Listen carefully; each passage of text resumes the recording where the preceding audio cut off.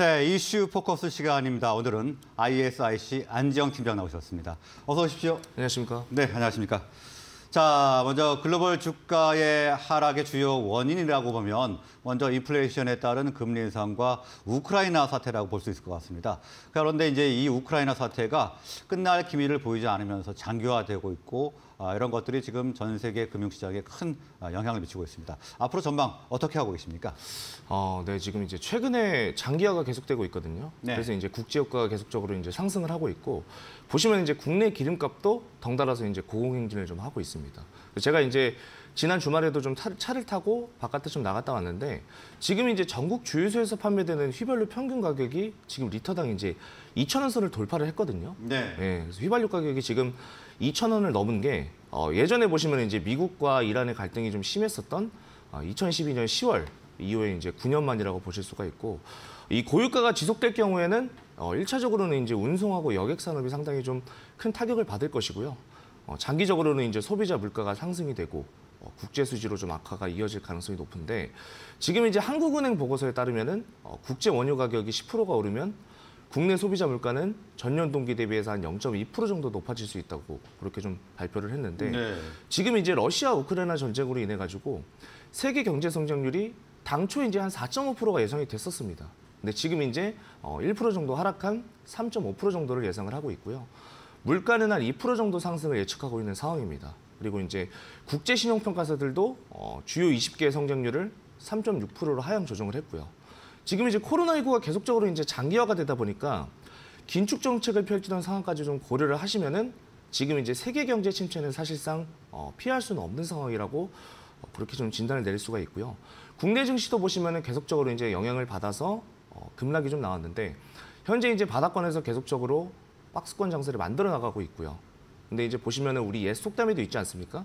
하늘이 무너져도 어, 솟아날 가능성은 있다라고 이제 선조들께서도 말씀을 좀 하셨는데 항상 시장이 안 좋았던 이런 상황들은 계속적으로 있었습니다.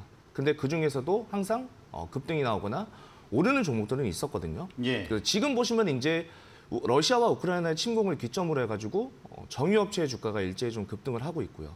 이 국제유가가 좀 치솟으면서 에너지 비용이 또 급증을 했고 신재생 에너지가 부각이 되고 있는 네. 상황입니다. 그렇기 때문에 지금 이제 장기적으로는 재생 에너지라든가 뭐 원전이라든가 청정 에너지나 탄소 중립 기술 이런 관련 투자가 계속적으로 이제 늘어날 가능성이 높고요.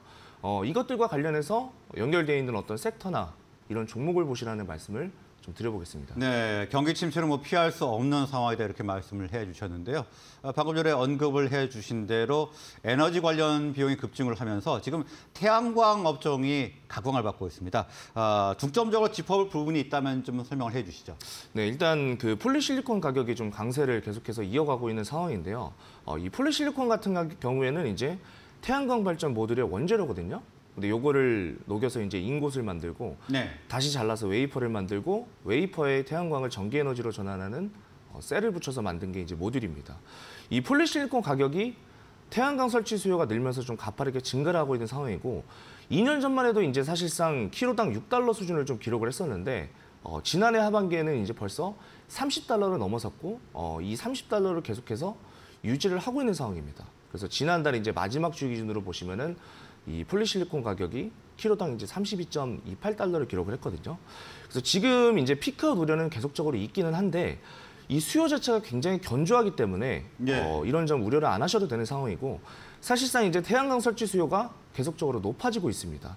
그리고 BNEF도 좀 전망을 했는데 2022년에 설치 수요가 한 200에서 한 220기가와트 정도였는데 어, 최근에는 이제 240기가와트로 상향을 한 상황이거든요. 네, 그래서 러시아 우크라 사태로 인해서 이 유럽 국가들도 계속적으로 탈러시아 에너지 정책을 계속적으로 펴고 있는 상황입니다. 그렇기 때문에 이 재생 에너지에 대한 수요는 계속적으로 늘 수밖에 없는 상황이고요.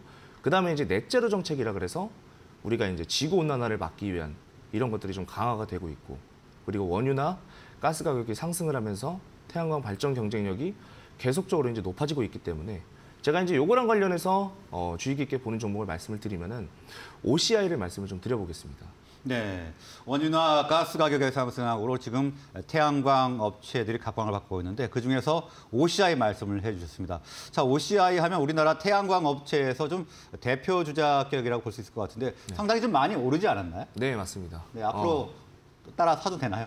어, 지금 사실상 주가 위치 보셔도 상당히 높거든요, 지금. 네. 많이 급등이 나왔었는데, 어, 이 사실 이제 폴- 폴리실리콘 가격 강세가 이 동사의 실적 개선으로 바로 바로 좀 이어지는 상황입니다. 그래서 지난해 이제 영업이익 보시면은 어, 6,521억을 기록하면서 흑자 전환에 성공을 했는데 사실 이제 2019년에는 계속적으로 적자였습니다. 그리고 3년까지 계속적으로 적자가 이어지다가 반등이 나온 거거든요. 네. 예, 그래서 같은 해 이제 매출이 3조 2,440억 원이고 이게 이제 2020년보다 한 62% 정도가 증가한 수치고요.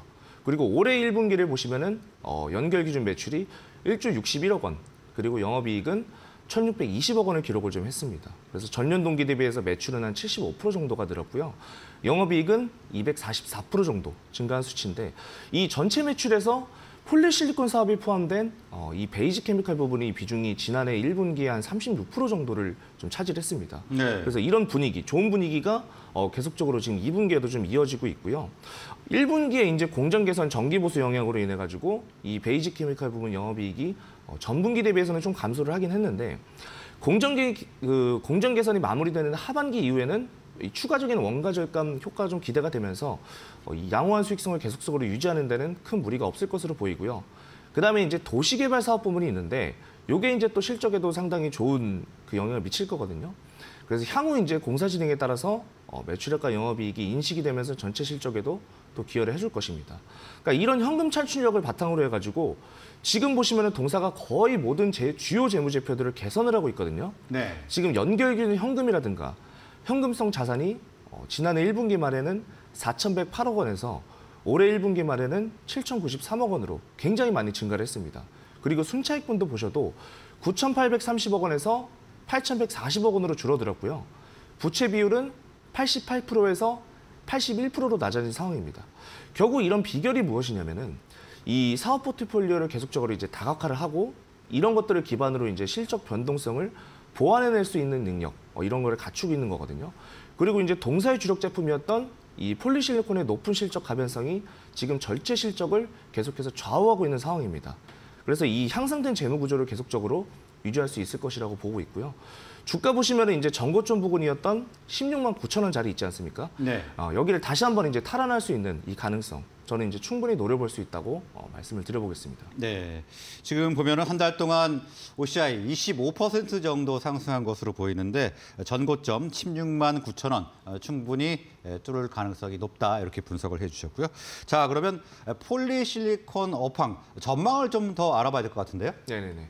어, 지금 이제 2020년에 이 폴리 실리콘, 폴리실리콘 업황이 본격적으로 반등을 했던 시기인데 이 업황이 이제 지금까지도 계속적으로 어, 이어지고 있다고 보시면 되고요. 단지 이제 시장에서 조금 우려하는 부분은 이 신규 증설 영향으로 인해서 가격이 좀 약세로 전환하면 어떡하냐 이런 부분인데 어, 사실 이제 이 우려들과는 달리 이 호조가 장기화될 가능성이 저는 높다고 보거든요. 왜냐하면 이제 시장이 우려했던 2022년 연간 폴리실리콘의 어떤 신규 증설 규모가 최대 한 69만 톤이었는데 어, 공격적으로 제시됐던 증설 전망에도 기존 기업들에는 여전히 기회 요인이 있습니다. 일단은 뭐 석탄이나 천연가스 이런 것들이 가격이 급등하면서 중국 내 신규 기업들의 가동 여건이 부정적인 상황이고요. 그다음에 이제 제조 원가나 어, 중국 지방 정부의 보조금이 지원 중단이 될수 있는 이런 가능성 그리고 마진 보존을 위해서 중국 폴리실리콘 생산 기업들의 판가 상승 여지가 지금 남겨져 있다는 점 네. 이런 것들을 좀 보시면 되고 그다음에 이제 미국이 그 중국산 태양광 제품하고 원자재에 대한 규제를 계속적으로 강화를 하고 있거든요. 그래서 이제 중국 이외 지역에서 폴리실리콘 기업으로서의 어떤 동사의 수혜 기대감 이런 것들도 좀 보시면 되겠습니다. 아, 네, 네. 그리고 바- 지금 이제 반대의 급부를 저희가 누릴 수 있다 이런 말씀이죠. 네네네 네 맞습니다. 네. 그리고 이제 미국 조 바이든 정부가 최근에 태양광 파트너로 한국을 좀 선택을 했거든요. 그래서 계속적으로 태양광의 발전에 대한 확대나 정책의 구체화가 될 가능성이 높습니다. 그래서 지금 보시면 이제 미국과 유럽 뭐 이런 중국을 제외한 지역에서 어, 생산된 태양광 제품을 계속해서 선호하는 분위기가 이어지고 있기 때문에 어, 말레이시아나 이런 이런 데 위치한 이제 동사의 폴리실리콘 제품의 판매가 굉장히 유리해지는 상황입니다. 그래서 이런 원자재 사이클을 좀 감안하시면은 그 중국 쪽 증설 물량이 나오는 내년 하반기쯤에 이 가격이 좀 안정화가 될 것이고요. 비중국 폴리실리콘 제조 메이커라는 이 기본적인 이점들 좀 보시면 되겠습니다. 그래서 최근에 또 보시면은 마지막으로 말씀을 드리면은 이 한화 솔루션하고 12억 달러 규모의 이 10년 장기 공급 계약을 좀 했거든요. 그래서 새로운 판로를 열었다는 점에서 어, 굉장히 또 의미가 있습니다. 그래서 업황 자체는 지금 중장기적인 흐름이 굉장히 긍정적이고요. 제가 이제 어펀과 함께 말씀드렸던 이 종목 함께 좀 지켜보시라는 말씀을 드려보겠습니다. 네, 비중국 폴리실리콘이라는 이점과 아, 새로운 팔로우 개척의 에, 강점이 나타나면서 어, 좋은 실적을 기록할 것이다 이렇게 분석을 해주셨습니다. 자, 오늘 말씀 여기서 마무리하겠습니다. 네. 고맙습니다. 감사합니다.